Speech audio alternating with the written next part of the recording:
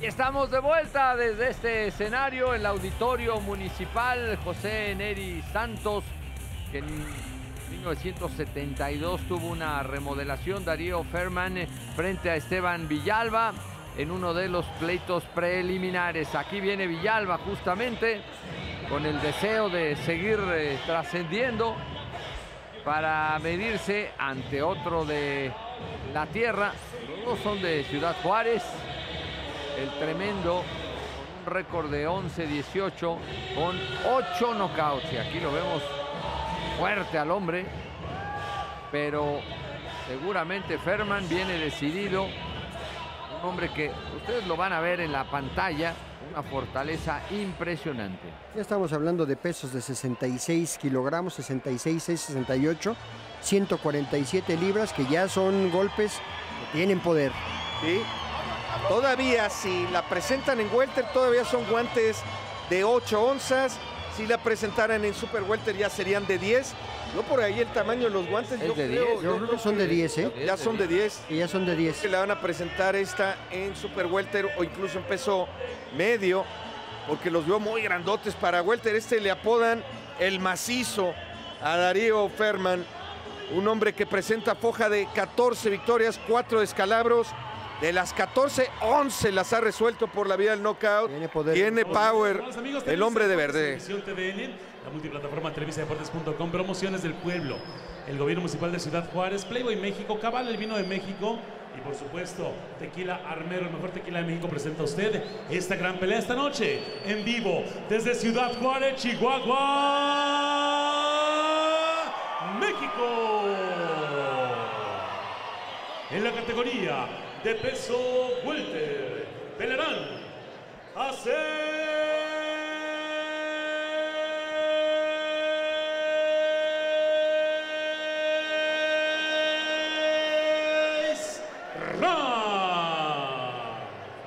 En la esquina roja, con un récord de 11 peleas ganadas, 18 perdidas, 3 empates y 8 victorias obtenidas por la vía del knockout.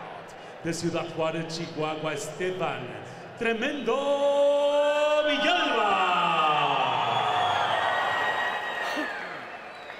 En la esquina opuesta, su lugar para esta pelea, esquina opuesta, esquina azul, lo presenta usted con un récord de 14 peleas ganadas, 4 perdidas y 11 victorias por la vía del cloroformo puro. Esta noche, con ustedes, también en su casa de Ciudad Juárez, Darío Macizo.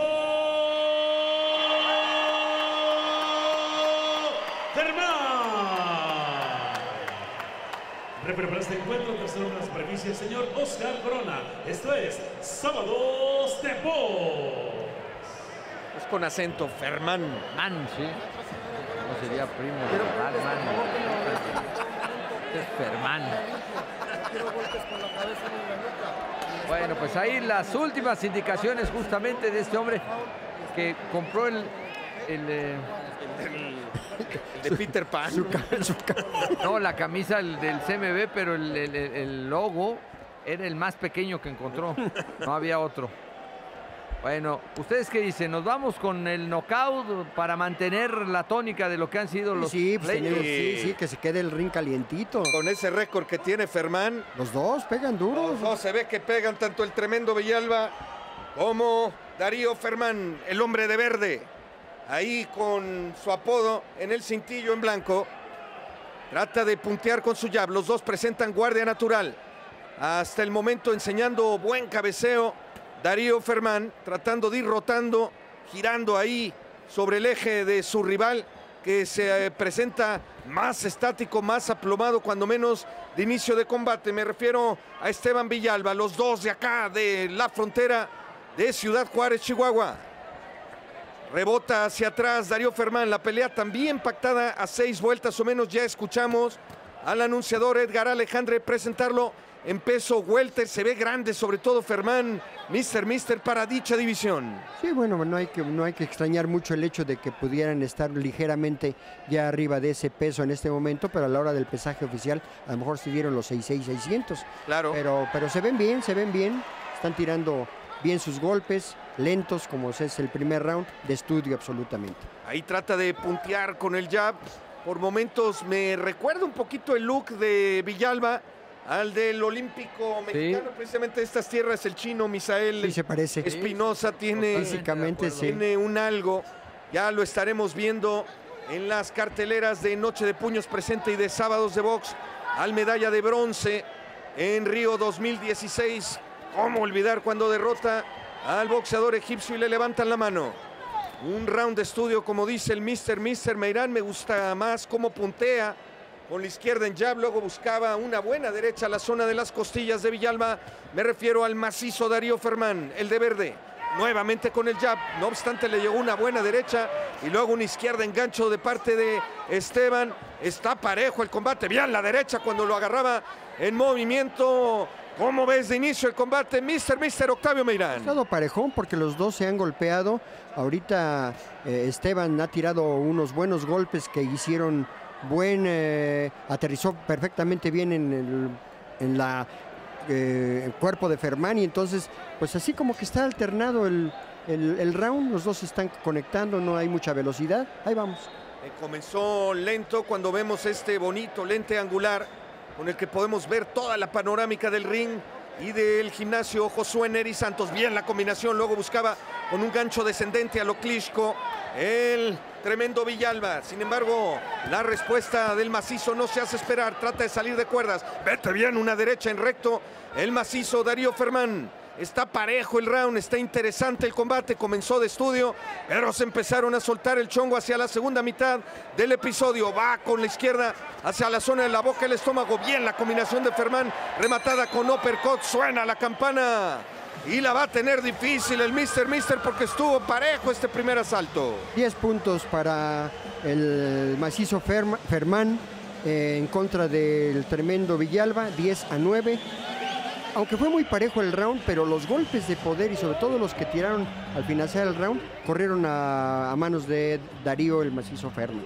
Los dos pegan y en serio, Sí. ¿no? Asientan el golpe, vean ahí la derecha de Villalba y después cómo va persiguiéndolo y le sacude totalmente la cabeza al de verde que cuando se soltó y echó para adelante también, también nos enseña el power ahí en los guantes que tiene el poderío y pues eh, de momento en esta categoría, en esos pesos de welter, por el tamaño, por la estatura, yo recuerdo al tremendo Carlos Palomino, que era una impresionante y en ese peso. Claro. Era una mole, sí. era una mole, pero peleaba en welter. ¿no? Contemporáneo de Pipino Cuevas y Sí, lastimosamente nunca se enfrentaron, Alfredo. Bueno, vámonos al segundo capítulo y aquí está, soltando la mano izquierda en forma de jab. Fermán tratando de encontrar la distancia mientras que el tremendo suelta a la izquierda pero no le pega. Simplemente como para marcar ahí el territorio el tremendo. Ahí lo vuelve a encontrar, pero no hace Diana. Finalmente se le escapa el de pantaloneta verde, muy estático por momentos. En la mano izquierda de Villalba. Otra vez Villalba, 1-2 arriba. Y ahí está el tremendo dándole justamente una carretada de golpes, señor Meirán. Soltando los puños y ya le estrella también el pómulo a Fermán que sale disparado y le dicen de la esquina, cuidado, ¿eh? Pues, soltó el sí, posicionador. soltó el posicionador. Qué buena manera de entrar por parte de el tremendo Villalba. Pero Fermán tira muy bien sus golpes, muy derechos. No los tira volados, los tira rectos y con fuerza. Y eso por supuesto que suelen disminuir las capacidades del oponente. Mientras que el tremendo nos enseña una buena colección, pero ninguno de ellos pudo terminar ahí con eh, Fermán, que sí se come en el pómulo Uy. derecho una, un tremendo golpe. Abajo también duele. Ese fue muy fue abajo, abajo, ese fue muy abajo. Y el referee se lo comió. y lo vio en la perspectiva que tenía. El tremendo no dijo más que el gesto y ah, cuidado ahí. Ese gancho corto de parte de Fermán era violentísimo. Ahí lo tiene a la distancia. Cuidado con las Cabezazo. cabezas, ¿sí? Venga, señor Meirán. Sí, Listo, no pasó nada. a pura advertencia, ¿no? Cuidado con las cabezas ahí. Esta manera de lanzar el golpe. Vean la izquierda y después la derecha de Fermán. Ahora me da la impresión de que Villalba se nos cansó, señor Meirán. Sí, efectivamente ese era mi comentario. Echó el resto cuando se fue a la esquina a pelearle a, Fer, a Fermán y se cansó. Ahí fue donde se cansó, fue cuando soltó el posicionador. Y observen ahí, sí. La, la boca de Villalba ya es simplemente para jalar aire. Se va a terminar este segundo round. Nosotros hacemos una breve pausa y regresamos con más de la noche de puños. Está bueno el combate. Y viene lo mejor.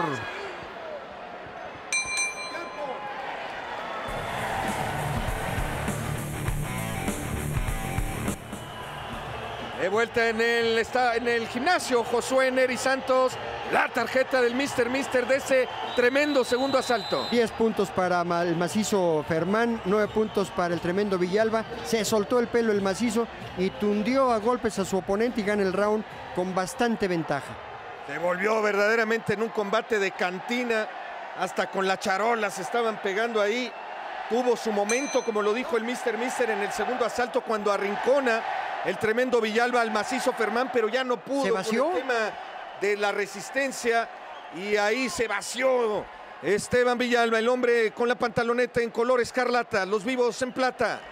Bien, el macizo Fermán que se ve que no pega caricia, su récord así lo anuncia y también lo ha exhibido en los dos primeros asaltos. Esto en la división de los welters. Me quedé pensando en Palomino, Alfredo. Palomino llegó a pelear con mantequilla, ¿no? Sí, sí, Sí, claro. Dos veces. ¿Cómo quedaron en No, las dos, Las dos ganó mantequilla. Mantequilla. las dos? Las gana mantequilla. Qué bárbaro, hablando de esos tiempos. Un saludo a Gilberto Mendoza, amigo de mi señor padre, que solían ver peleas de box juntos en esa tradición que tiene los sábados. Añeja tradición en México. Y en la derecha ahí de el macizo Fermán Darío de nombre. El hombre que tiene cuatro descalabros y que ya sangra por ahí del pómulo izquierdo. Mister Mister Meirán podría ahí buscar con esa derecha hacer mayor daño en la ya escoración que presenta el hombre de verde. Yo veo que no tiene ya la característica de fortaleza como cámara que pudiera lastimar al macizo. Lo veo con poco pele- con poco eh, golpe fuerte Poco ritmo, como, para que pudiera hacerle daño al macizo. El macizo se ve, ahora sí que se ve macizo, se ve entero. Me queda la duda si, si la apertura ahí en el pómulo no fue producto de ese cabezazo. No, ya estaba, Ya estaba, Ya, desde, sí. desde el segundo round. Bueno, es que el- también el cabezazo fue en dicho round, por eso lo mencionaba, pero sí, ya tenía la apertura, es verdad. Va dominando el hombre de la pantaloneta verde, Darío Fermán, que suele decidir Oh. las peleas por el knockout. ¡Qué bien! Lo hizo agacharse, luego se quejaba de un rabbit punch, con cierta no. razón, Villalba, porque, porque sí alcanzaron a meterle un guante ahí en la zona de la nuca, pero también una Más un derecha pescozón. fuertísima ahí en el rostro. Se vació, como decía el Mister No, Mister no Meirán. no tiene y ahí lo vemos cómo abre la boca, cosa por demás peligrosa. Esteban Villalba no traía la condición porque el boxeo y la pegada parece sí poseerla el hombre de rojo, pero en ritmo y en todo se ve superior. Vean el uppercut que mete ahí el macizo de Río Fermán, que quiere subir su foja y llegar a su victoria número 15. Bien con la derecha en cruzado, luego rompe el contacto. Darío Fermán ataca la zona A la lona. blandas y a las cambas va a dar mitad por la pegada y mitad ya por la fatiga. Esteban Villalba se va a levantar, me parece que sí, ya casi en el límite del conteo. Presenta la guardia como es menester y lo salva la campana. La tarjeta, señor Meirán. 10 puntos para Darío el macizo Ferman, 8 puntos para el tremendo Villalba, ya había sido golpeado bastante fuerte a lo largo del round y pues termina con la caída, 10-8. Se le acabó la gasolina desde el segundo round. Y cuando logra finalmente ponerle la mano encima a Ferman, este, eh, el, el corte viene prácticamente desde el round anterior. Era cuestión de cualquier rozoncito iba a, hacer, eh, iba a hacerlo sangrar. Pero los golpes es eh, abismal, ¿no? La contundencia ahí lo vemos justamente como el macizo atiza, mientras que el tremendo ya sus golpes son cada vez con una lentitud impresionante y bueno, pues ya prácticamente sin la fuerza. Vámonos al cuarto round. Saludamos también a Cristian Mijares ahí en la zona de ringside. Ahí anda el muchacho de Tierras Laguneras. Cuarto round en esta historia de Noche de Puños. ¿Usted qué dice? Aquí viene por todas las canicas, lo salvó la campana, bien dicho, señor Meirán, porque Villalba parecía que ya no. ¿eh? Y otra vez aquí la combinación de parte de Darío Fermán que va a tratar de terminar la obra. Ahí ya lo conectó, ahí ya le puso la mano encima. Cuidado porque está mal trecho, la derecha, adiós. Le pone una buena combinación y la firma con la derecha. Ahí la actuación del árbitro Corona tiene que ser impecable. Está en malas condiciones Esteban. Y por fortuna ya logran incorporarlo. Qué manera de atizarle. Derecha, izquierda y después la firma con la derecha.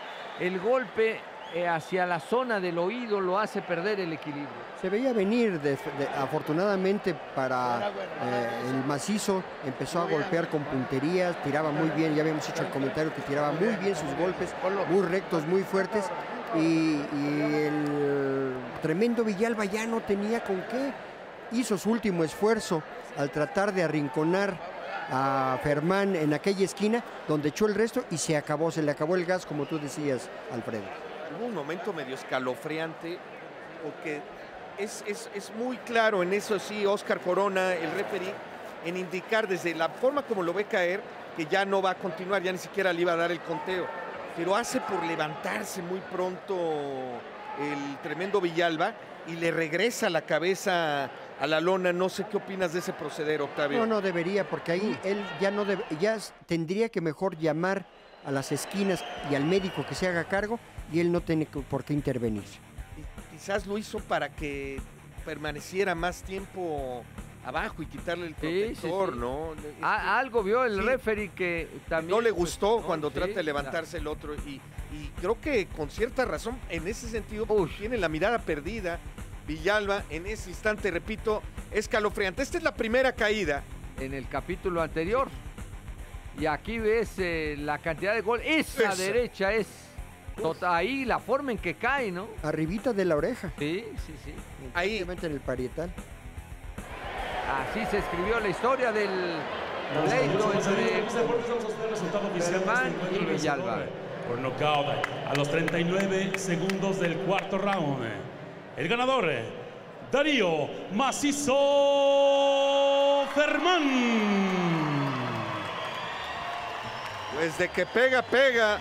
El macizo Darío Fermán se hace con su victoria número 15 como profesional.